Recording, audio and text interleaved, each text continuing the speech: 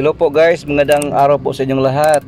Ngayon po ay March 15, 2021. Opening ng ating isang outlet guys doon sa Consolacion Cebu. So papunta tayo doon ngayon. Medyo matraffic so habang tayo ay malapit na, uh, kwentuhan lang muna tayo guys. At bagong lahat, welcome po sa channel ni Madam Rox. Sa mga baguhan pa lang sa channel ni Madam Rox, huwag niyong kalimutan mag-subscribe like nyo at share nyo guys para marami tayong ma, uh, ma-share ng mga kababayan about sa lechon manok business. Okay tuloy-tuloy tayo. So ito guys nandito na tayo sa area.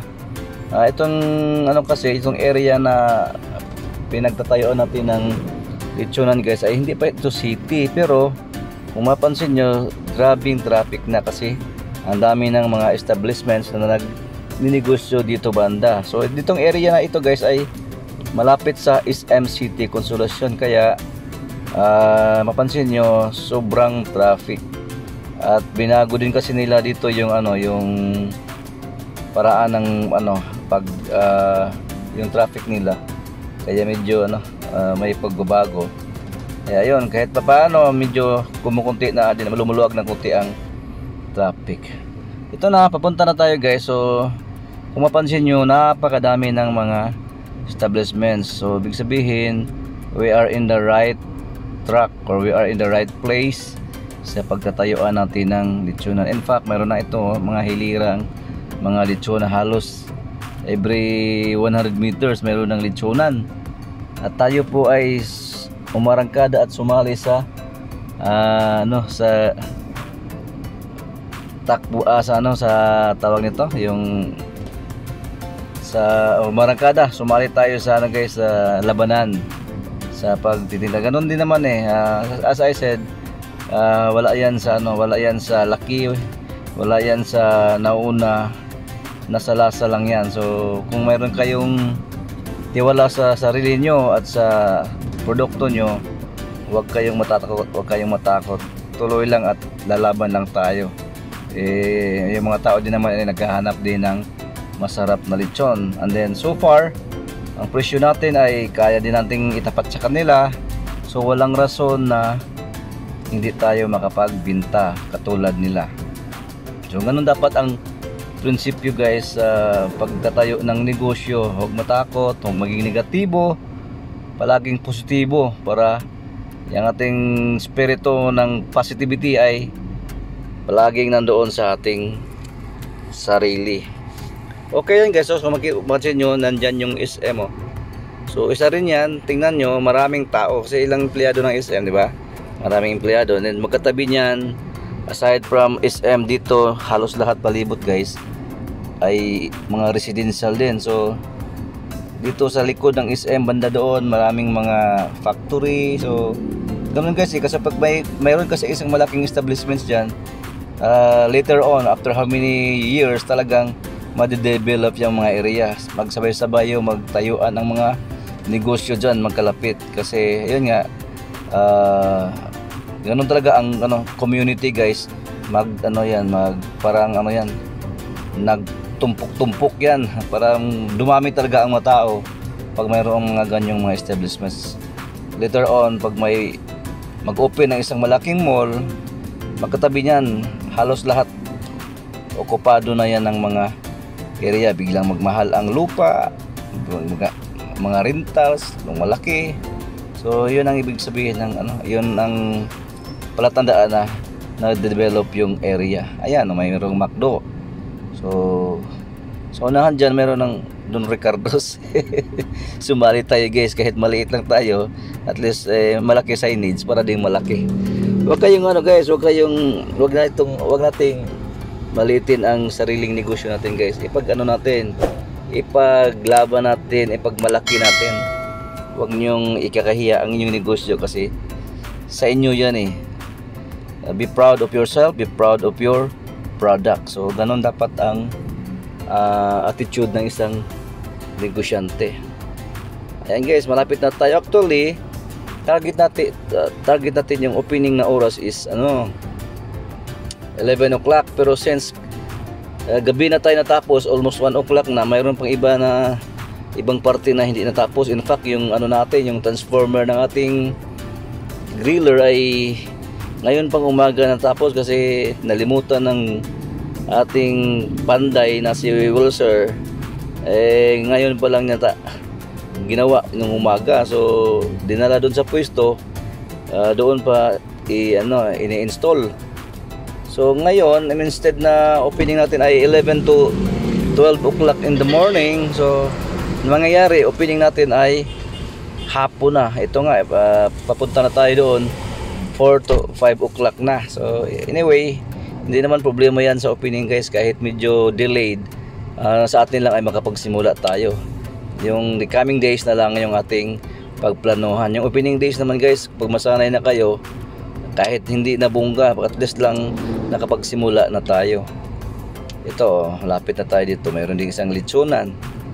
So actually parang nasa 4 to 5 o'clock na talaga tayo nakapagsimula. Mayroong mayroong balon. Ganon din ang ating pakulo. Mayroong 1.5 na ah, soft drinks if you buy two chickens. Simpleng ano lang guys simpleng pakulo lang. Ah pang ano lang sa pinayan to guys oh. so kita nyo ang daming tao di ba? So imposible naman hindi tayo dito maka ano hindi tayo kikita. So mag park muna tayo guys dito sandali lang. Park muna tayo dito guys kakain tayo dito. Ah, katabi lang ito sa atin mga 100 meters lang ito distansya ng ating litsunan guys oh. kilala tong dito.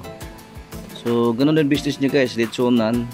Tapos may dine in so ganito, ganito rin yung plano ko ah, sa darating na panahon guys. Ito na so gabi na guys. Mga 6 o'clock na ito ngayon eh. dito tayo. Tapos na tayong kumain so maya maya ay ano ko kayo i-tour ko kayo dun sa loob.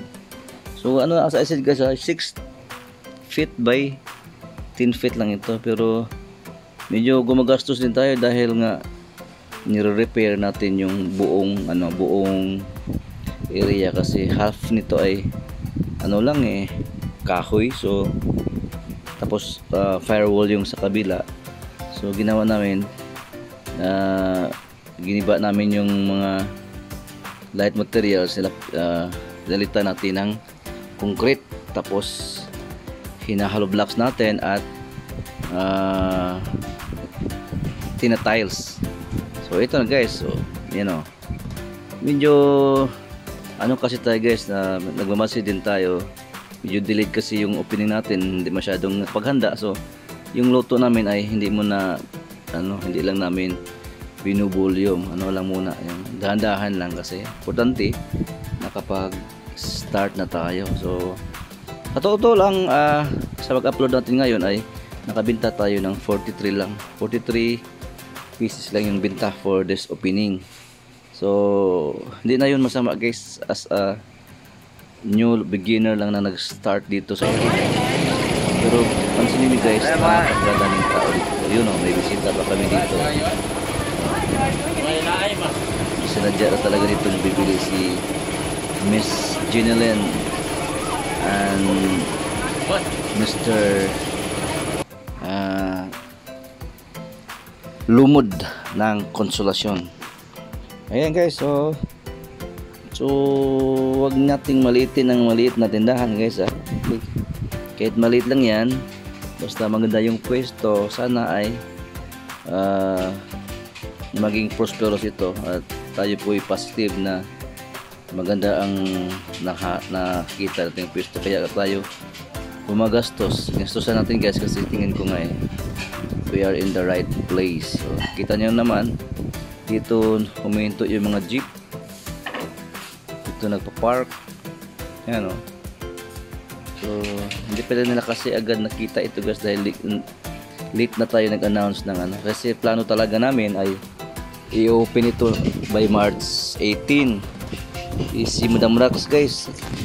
Ayaw magpapigil nag-decide agad na mag-open na daw by 15 so kaya ito kahit late kami na nag-open at least nakapagsimula. Kasi yun lang naman ang ano guys sa pag-opening ng outlet.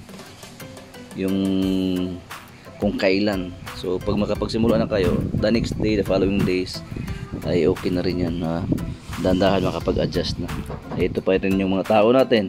May baguhan. So kaya sinama ko yung mga veterano na natin dito sa ibang outlet. Dinala ko dito para lang sa opening namin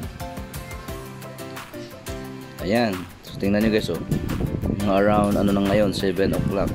Tingnan nyo yung tao dito. So ibig sabihin yan sa dito ang sakayan. So kung talaga ang tao ay mayroon ng pauwi na sila di ba? Isa yan sa palatandaan natin guys yung area na doon ang tao sasakay bago umuwi. So doon kasi sila magplanong bibili ng ano eh ulam or anong bibili nila at kung mayroon dyan sa area na yan na bago sila sasakay ng sasakyan eh bakit doon ba sila sa unahan bibili? So dito na. So ibig sabihin uh, sooner or later dadami ang binta natin dito ng ating lechon manok na Don Ricardos.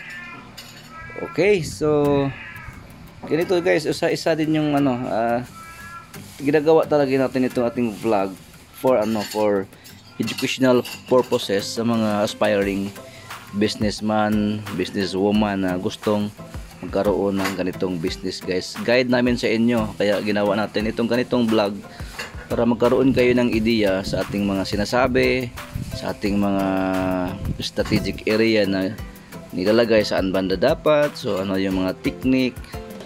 Ayun guys, so sinishare lang namin sa inyo para dagdag kalaman sa inyong mga gusto ring magdinegosyo.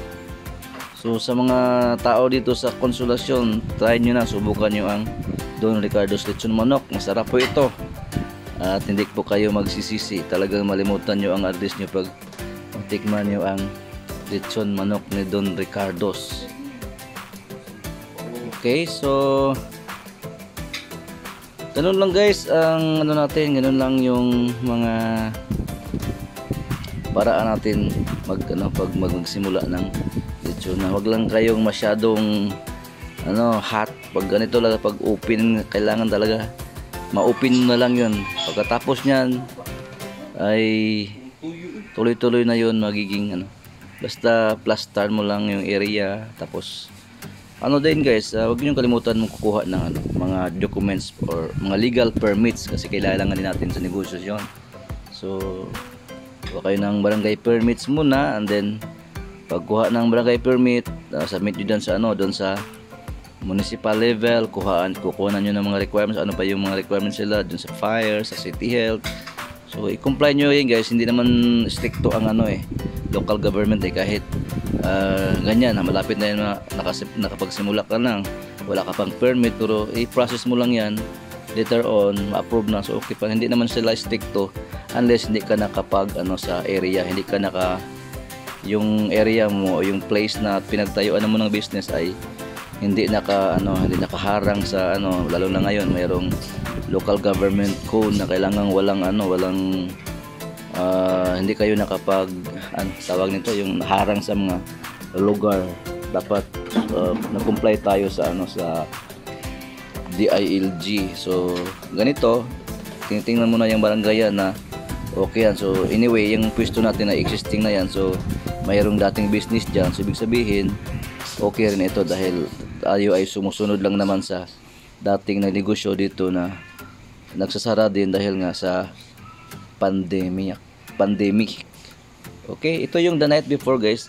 Actually kaya medyo delayed yung opening namin kasi natapos kami 1 o'clock na in the morning.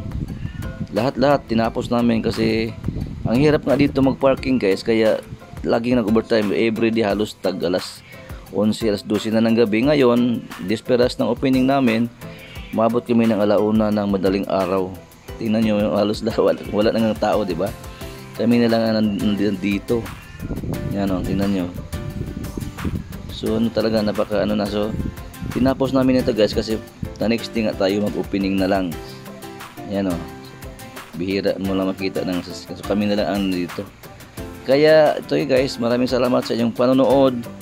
Ayan nakita nyo naman yung opening natin. So hindi ganong bunga guys pero in the long run yun ang ano natin. Uh, long term yun kasi yung plano natin. So hindi lang yan sa pabunggahan. At least yung area na nakita mo ay maganda. Okay. So maraming maraming salamat sa inyong panonood. Huwag nyo kalimutan ang uh, pag-subscribe sa channel ni Madam Rox like and share nyo guys para every time at huwag niyong kalimutan guys i press yung bell at yung all para every time merong palabas or videos yung Madam Rax na i-upload automatic kayong makakita sa mga videos sa ating mga educational videos at business videos. Okay? Maraming maraming salamat po at magandang gabi na po dito. Salamat